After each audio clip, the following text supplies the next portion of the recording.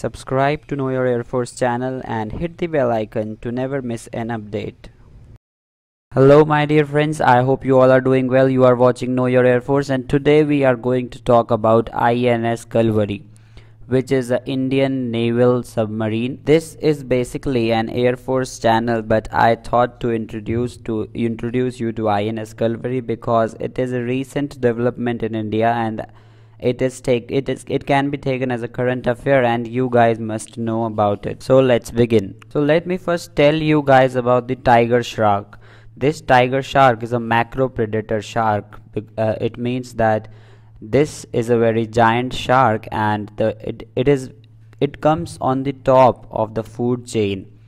It is common world it is common in worldwide and it is found in tropical and warm temperate coastal waters it is considered as the most dangerous shark in terms of number of attacks and fatalities that it has caused to human beings.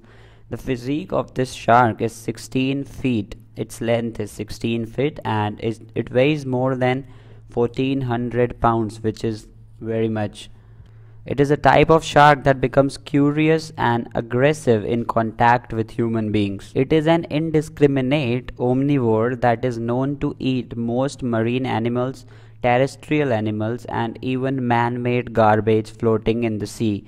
Now, you can see how dangerous this tiger shark is.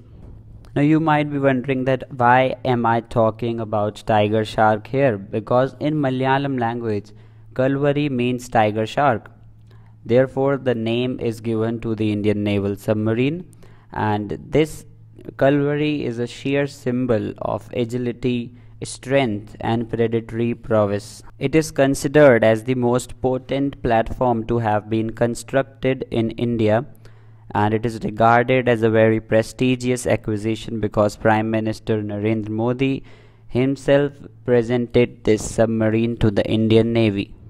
Since 2016, this submarine is going on trials uh, since it was fully constructed and today formally it has been in inducted in the Indian Navy. And the construction of this submarine started in 2006 uh, on 14th December 2006 at MDL yard which is there in Mumbai and another good thing about this submarine is that it has been built using boot together modular approach of construction.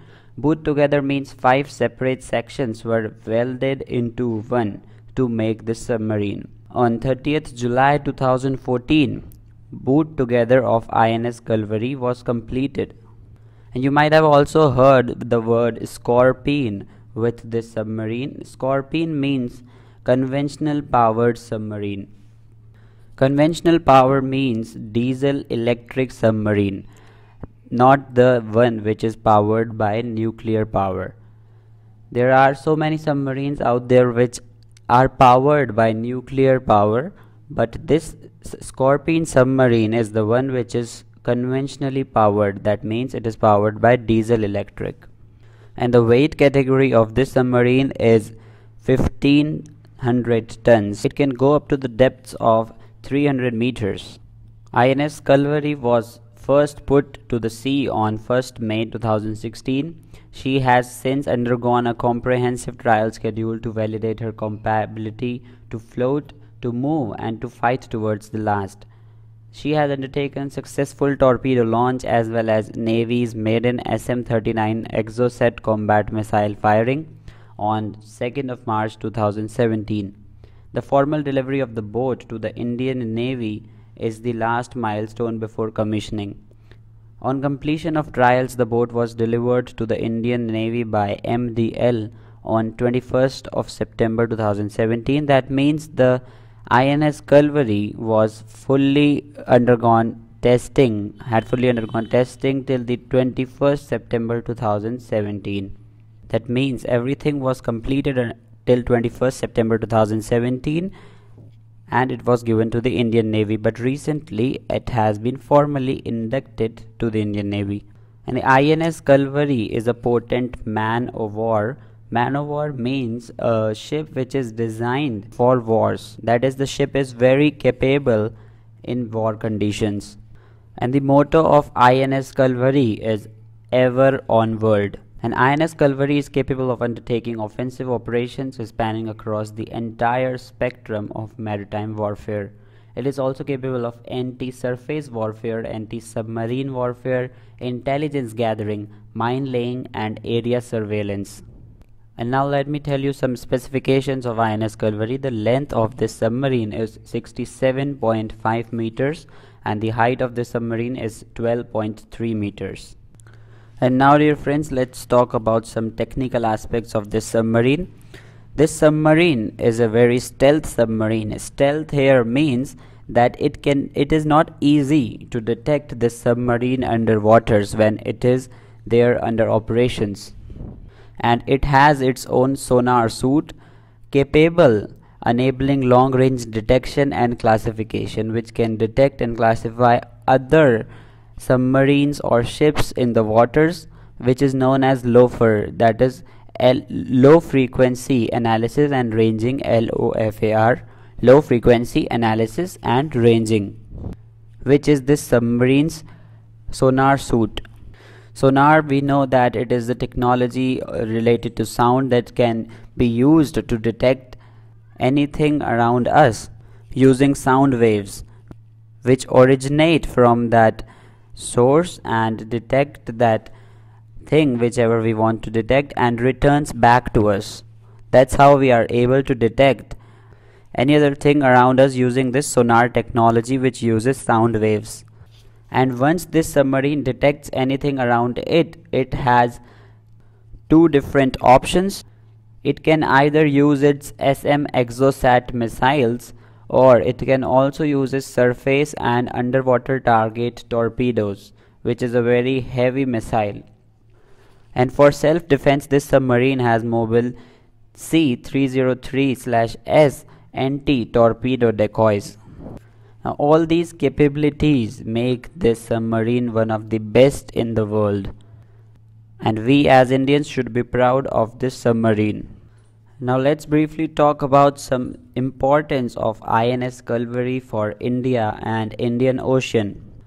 INS Kalvari is the prime example of the Make in India campaign launched by our Prime Minister Narendra Modi.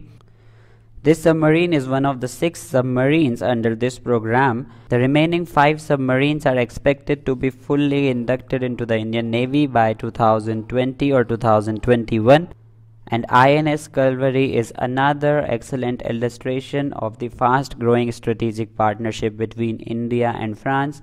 India and France have always been a good defense partners. We are taking Rafale aircraft from France and we are doing naval exercises with France also. So INS Kalvari is another excellent illustration of this partnership. And Indian Ocean is the only ocean in the whole world whose name is given after a country that is India.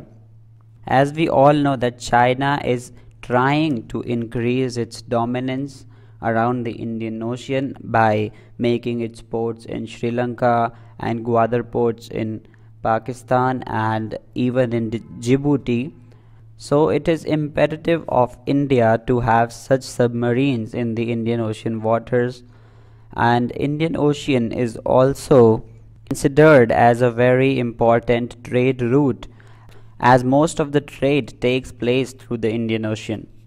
It is also important because Indian Ocean connects West Asia that is the Gulf countries, Oman and all these countries to the East Asia.